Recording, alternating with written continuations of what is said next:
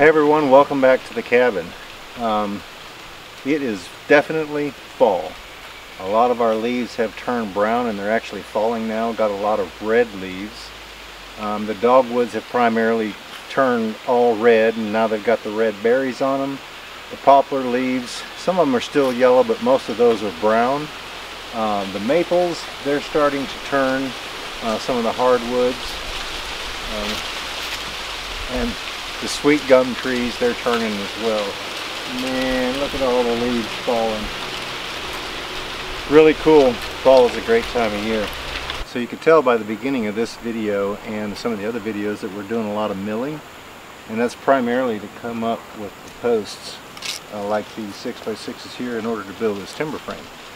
But as you're cutting those, you come up with a lot more material. So um, I've got some 2x8s, some 2x10s, some 1x's in there. Uh, I've got some two by two stock right here that I don't try not to throw anything away because inevitably at some point I'll need something that size and hopefully I can remember where I put it. But uh, let me show you what we've been doing today. So we got, uh, this was primarily one log, this was one log, um, and then some of that other type of material came out of that as we whittled down in order to come up with this. But I needed three 16 foot uh, 6 by 6s for this side right here. It's going up.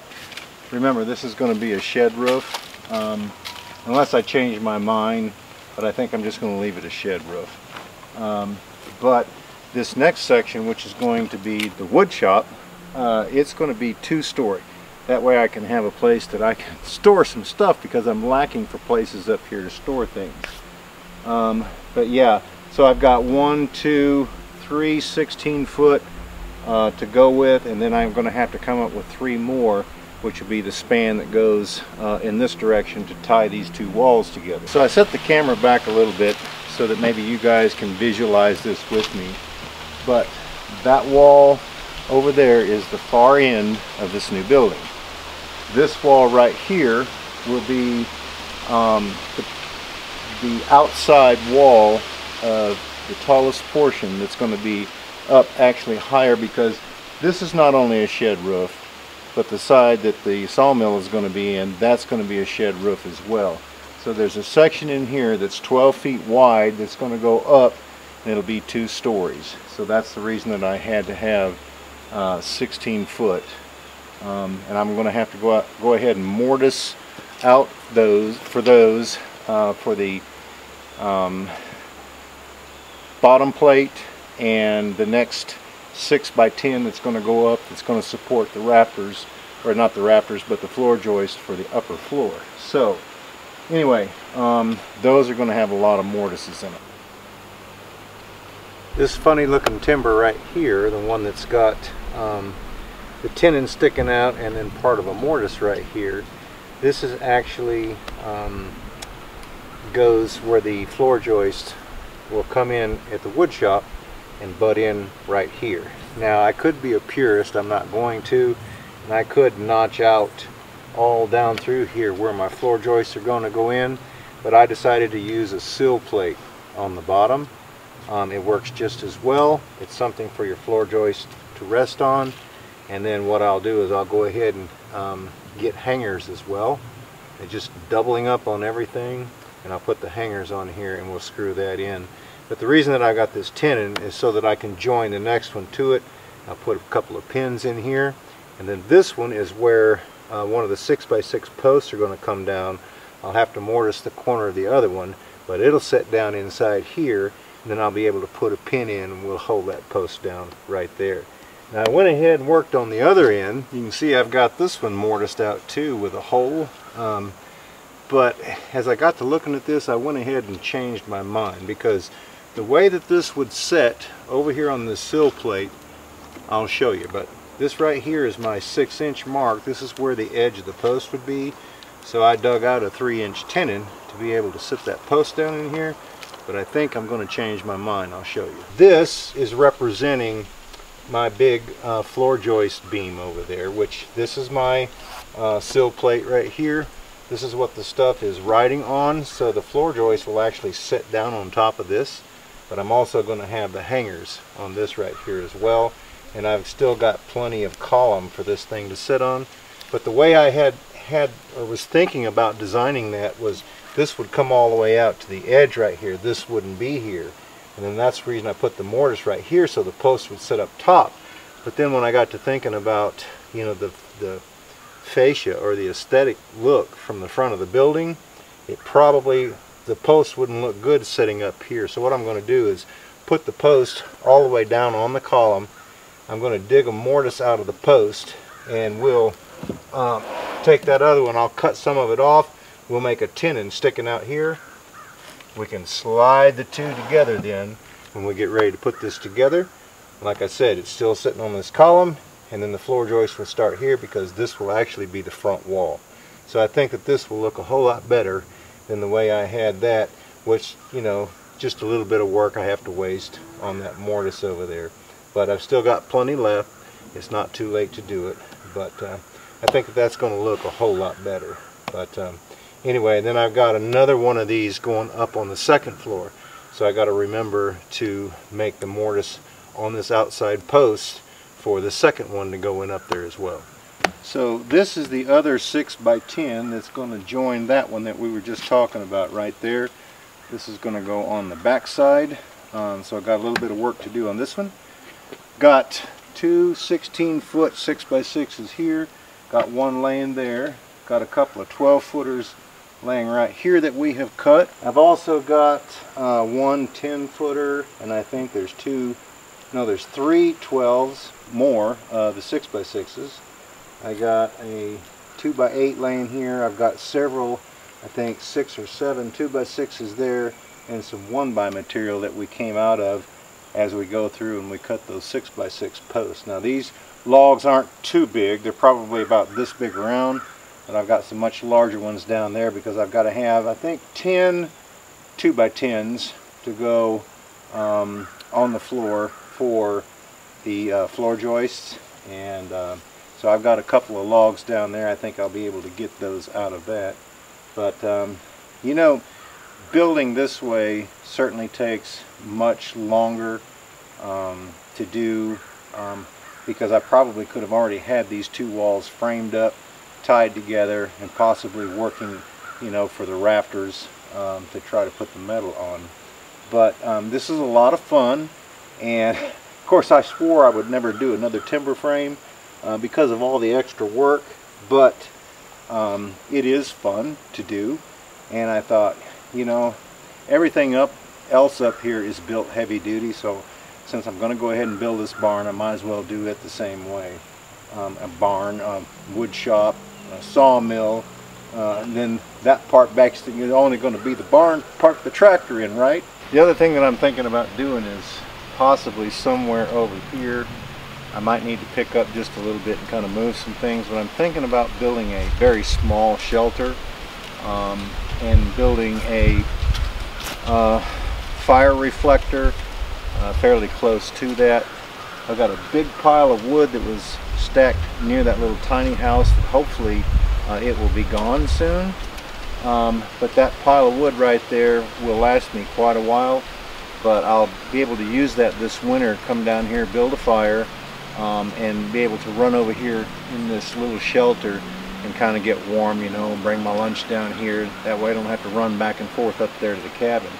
But uh, I think that that might be a good area for it because actually the next columns that I'm going to pour with concrete will be the other side of the wood shop, which would be the beginning, basically right here, the beginning of uh, the sawmill area. But I'm doing this in sections to kind of uh, break it up a little bit. That way I didn't have columns sticking up everywhere and I could actually drive through here and set beams up and things like that.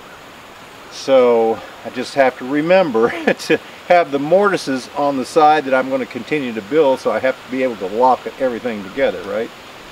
Um, but yeah, I think that's what I'm going to do is build something temporary down here and just put uh, maybe it's some camouflage tarp over it and uh, I think it will be good enough that it will last all winter and kind of hold some heat you know like if I build a fire then like I said put a fire reflector uh, in the front of that but um, yeah, everything is coming together on this building. It's still, you know, like I say, it's very slow choosing to do something this way, but you only do it once, right?